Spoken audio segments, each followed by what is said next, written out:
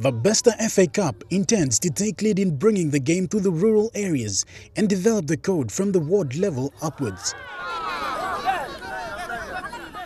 The annual PNG Football Association sanctioned Besta FA Cup soccer competition is set as the perfect platform to draw and promote the pool of talent available, especially from the rural parts of the country apart from the known players in the major centers. Living up to that, organizers and host of this year's Momase leg of the Besta FA Cup invites teams from the district of West and East Sepik and Madang to next month's challenge.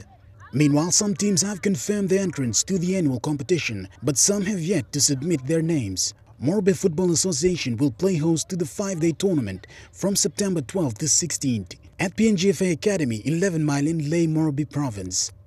Shane Saroya, National EMTV Sports.